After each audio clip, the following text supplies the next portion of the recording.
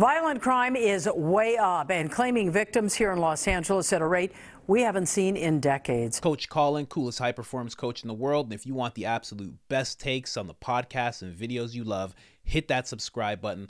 Let's get into it. Jorge Masvidal was on the JRE on March 22nd, and they talked about a lot of things but one thing they surprisingly talked about was the rise in crime that's going on in LA. And they also touched on defunding the police and whether or not that was a good idea. Now, today I have two clips for you. Both of them are Joe Rogan and Jorge Masvidal talking about the rise in crime and defunding the police. And another one is Joe Rogan giving his straight up gangster opinion on defunding the police. It's just a straight up truth bomb. Let's get into it. They're they're loosening that up and giving LA away concealed LA's carry permits scary, now. man. It's very scary. My friends who go back there now, they're like, "Fuck, man, it's just not the same place." I was there like eight weeks ago. It's It's different. Like zombie land now. Sometimes, bro. Yeah, well, COVID killed that place. COVID and the governor, the governor and the mayor, Oh, they just fuck it. The fucked that place bro, to they- death. They don't, you know, I don't, I don't believe in those same like policies that socialism and communism spring up. I anything to do with that, I'm firmly against that, and we see it. It's like a perfect example. You want to follow that shit? Look, look what California happened in California. You know, Exactly. look what was going on in New York during the whole thing. It's it's nuts, man. I Freedom get first. why people would think that it would work because they think they're they're going to be a better person. We're going to make things fair for people. But the problem is, it just consolidates power in the top, and then they have they leave everybody fighting over everything else, and it becomes chaos. It happens in every country. It happens in every city. Whenever they institute those kind of policies, crime goes up. People Oh. get fucked. They let more people out of jail. Crime continues to go Oh, you can't do that, man. I Yeah. I grew up in not the best neighborhoods. Believe me, you, you don't want to defund the police. Like, No. you know, because the guys that the, the people that they'll be all right is like me and you, because I could hire a security team and so can you. But how about everybody else that can't? Exactly. They're gonna get fucking murked, bro. Yeah. Because there's people on the other side that are really fucking hungry, that are real for real bad guys. You take the police away, you take that filter away, you're asking for trouble, man. And when you let bad guys out of jail, and you then they No know, cash bails? They know they're going to be able to get out of jail easy if something happens. I mean, these guys are shooting people and they're out of jail in a day. That- That's that's crazy, insane, bro. It's crazy. there was some I- I forget I think it was California like the dude went in for stabbing then he got out the next day and then robbed up like a liquor store and then like shot somebody and killed somebody like this guy was just in jail 24 hours ago Yeah. you fucking let him go bro No, it's a mess. And you know, you've got that district attorney in L.A. He's a monster. He just lets people out and just. I don't understand it. I don't understand I these think I progressive think it's district done on attorneys. I think it's done on purpose because the the evidence is pretty clear it's like any idiot could read it. any black and white person it's in black and white for you to see like Yeah. it, it's not working out man I like the way this guy thinks. Now, I don't usually watch the MMA shows, but when I saw Jorge, I wanted to listen to it because Jorge, he has brought up so many, like throughout the past three years. And you know, when I bring up that era, when I say the past three years, we all know, you know, when that started and when that, you know, what the past three years means. He was very vocal on exactly the things he mentioned, you know, communism, socialism, and, and things that he saw that were happening, you know, the little restrictions that were happening. He, he kept calling it out and he, he had no problem doing that. And yeah, I'm a really big believer in not defunding the police. I've always said that it's a misguided thing to do. I, and I know the big argument, especially with what the left had going on in their mind, the biggest argument was always about how, you know, you need to take that money from them and put it into the communities that they're harming.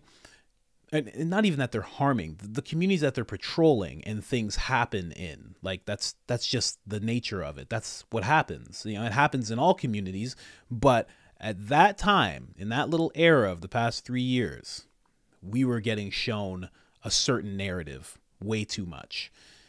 And people really believe that the police should have lost a bunch of money and it should have went into those communities and that somehow sending people in who were like i think people were asking for like crisis people you know people who could like work out disputes and they would go in unarmed which is just wild wild. You don't want to send an unarmed person into a, a domestic dispute where that person walks in unarmed not knowing the terrain of the house that they're in not knowing the people that they're dealing with and then the people that they're dealing with know where all the kitchen knives are and possibly firearms. No. Ter- terrible idea.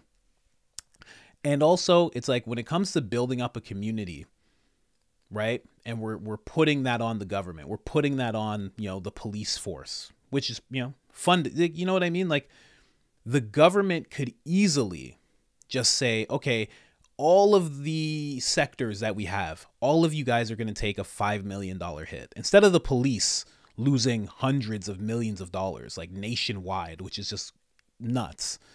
Every other set, all the sectors, you can all take a hit. We're going to put it into this community and we're going to build this community up.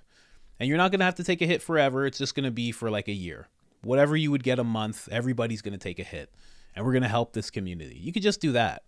And somehow, because of the narrative we were being shown, everybody thought we should take all the money from the police because it's their fault that the community is the way that it is. But if you really looked at everything that happens economically and, and socially and, and just the culture in general in those places, it's more than just the police that are the problem.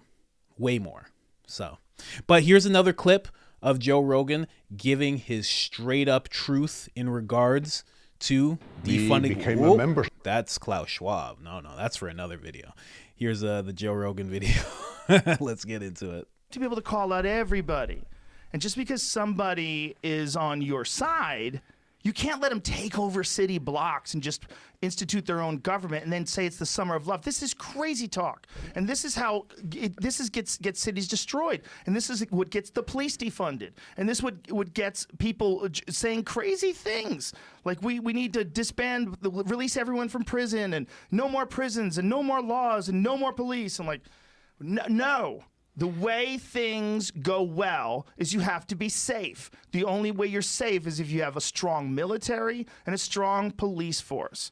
And there's something about liberals that don't want to believe that. They see the bad cops, they see these videos, and we all agree we got to get rid of bad cops. They got to reform the police. They have to. But those are not all the cops. That's crazy. You're just only see the bad. No one's no one's filming excellent interactions with friendly cops and compliant uh, people. That's not what you're filming. Not You're- going to get a lot of it's not going to YouTube get views, downloads. but that's the majority of these interactions. But we have this distorted perception based on what we're exposed to, which is viral videos of cops being cunts. Because there are cops that are cunts. Because there's people that are cunts. And there's who knows how many fucking hundreds of thousands, if not millions, of cops there are. The odds that they're not hundreds and thousands of cunts is is outrageous. But yeah, that's that's a perfect view, and that was a big thing that I was just talking about, and that I've talked about for years, is that we weren't seeing all of the cops that are amazing. You're not seeing the cops who take their time when they when they're off duty and go to the communities that they patrol and you're not seeing the ones that make sure they walk the beat and learn everybody's name. You're not seeing the ones that play football and play basketball. It's like you're not seeing any of that. You're just seeing the absolute worst of the absolute worst you know it's it's the same thing. The same thing that we were doing the cops are the same thing that some people will do in terms of like like the black community. Like you'll see a black guy who has guns, has drug like he's living that life. He's just in the street life. He's a gang member, whatever it might be. And it's like we're showing that that guy and all of a sudden that guy blankets everybody. And now everybody's like that. And now I walk by somebody's car and they're locking the door because you know how those guys are. It's ridiculous. You can't look at cops like that. We'll, we'll never be able to see every interaction that the police have, right? Because there's millions of great interactions that the cops have with the public. And then there's a bunch that they have that are absolutely terrible. And it's like we can't just look at the worst of the worst of them and be like, all of them need to suffer because of what this one did. Again, more training, more reform, things of that nature makes sense. But to just take away their power and take away all their money, that is the worst thing that anybody could possibly do. Like like Masvidal said, there are some people who are praying for that. There are some people that are just like, if the cops would just take 10 hours off, I would turn whatever city they're in into the into purge land. Like they would just go off. They would just loot. They would just destroy. They would just. We already saw it in the past three years. The past three years. You remember what happened. So yeah, I just wanted to give that that quick breakdown. I absolutely love this episode. Check it out. It's Masvidal. Let me just see what episode it is real quick. It's the MMA show 137. Masvidal, Jorge Masvidal. He actually talks about way more than just fighting. Uh, they get into that type of talk. They get into talking more about the pandemic and whatnot. They, they talk about a lot of things. He's a pretty layered guy when it comes down to it. But anyway, if you found any value in this, please hit that subscribe button. We hit 31,000 subscribers. Thank you guys so much. Now we're going for 35,000. If you guys could help me, it would be much appreciated. We're bringing out a new show. Actually, I just recorded this weekend and uh, I'm looking for a researcher. If you're one of those people, let me know. And other than that, I'm out.